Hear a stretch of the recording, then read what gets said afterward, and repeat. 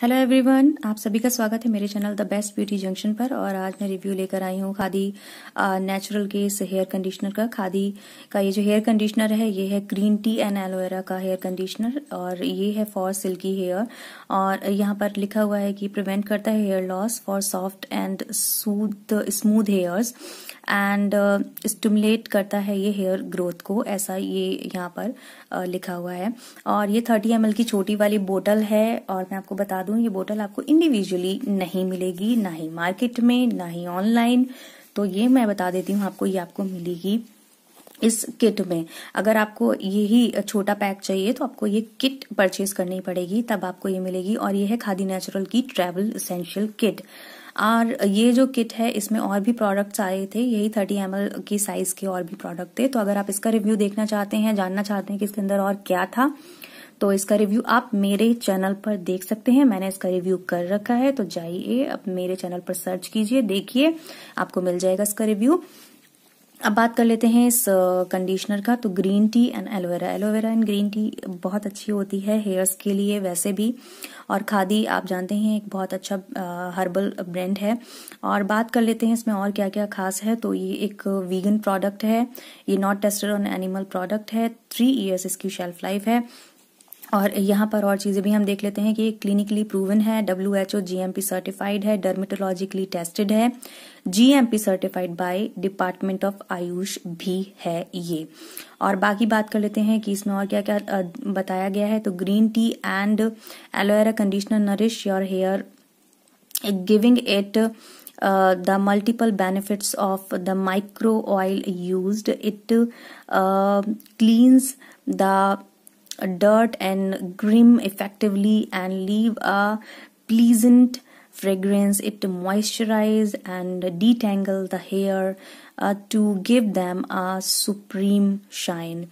So shampoo करने के बाद आपको हेयर कंडीशनर यूज़ करना होता है और ये हेयर कंडीशनर काफ़ी अच्छा और यहाँ पर आप इसके इंग्रेडिएंट भी देख सकते हैं, जिसमें कि मुझे कुछ भी केमिकल नहीं दिखाई दे रहा, ना पैराबिन्स ना एसएलएस तो कुछ भी ऐसा दिखाई नहीं दे रहा है और है लिखा हुआ नहीं है एक्चुअली इसमें और मुझे लगता है कि it's an herbal product it's a herbal product sorry so काफ़ी अच्छा प्रोडक्ट है ये।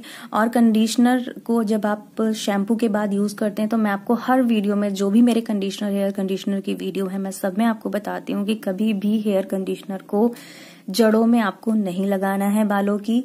बहुत कोई कंडीशनर ऐसा होता है जिसे आप जड़ों में लगा सकते हैं, लेकिन अधिकतर कंडीशनर ऐसे होते हैं जिन्हें आप जड़ों में अपने बालों की, यानी कि अपने जो स्कैल्प है, उस पर नहीं अप्लाई करेंगे। केवल आप अपने हेयर को हेयर्स में इसको अप्लाई करेंगे तो और उसके बाद आप इसको फाइव मिनट्स के लिए या टू मिनट्स के लिए आप छोड़ देंगे, तब आप इसे वॉश करेंगे।